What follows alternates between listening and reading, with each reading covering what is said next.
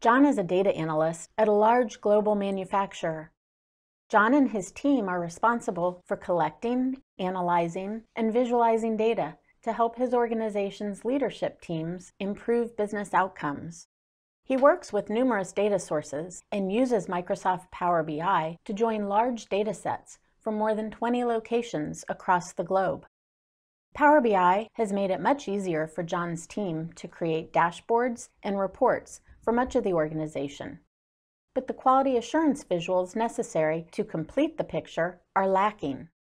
He needs control charts and process capability visuals in order to communicate critical quality insights to stakeholders. Using PI VIZpack SPC visuals for Power BI, John can now easily include process performance metrics in reports and dashboards. Individuals, XBAR and range, and other control chart visuals help communicate process signals and prevent mistakes using proven statistical process control techniques.